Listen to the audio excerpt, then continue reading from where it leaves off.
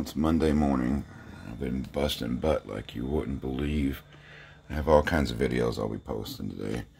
I apologize for being so long since I posted my last one, but I've been busy like you wouldn't believe.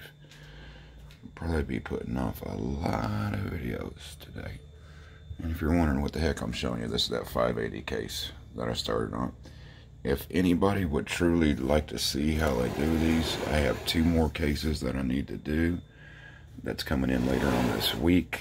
If you want to actually see how I do everything, just comment below and I'll go ahead and make a video of each step that I do. I mean, the hardest part on these cases is whenever you cut this out, you go ahead and cement this down and then you got to cut this out. And these little corners can be a grape. All I can say is take your time and just get a little piece of sandpaper and hit them edges. It might take a little while.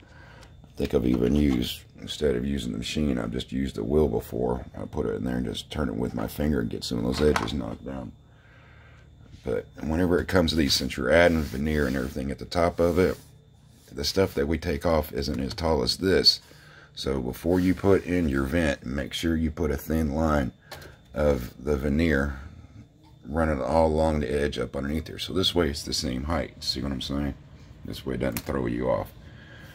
But I have the stereo almost done for this, so I'll be back in a little bit. Hey, I know it's Monday, but y'all have a great day.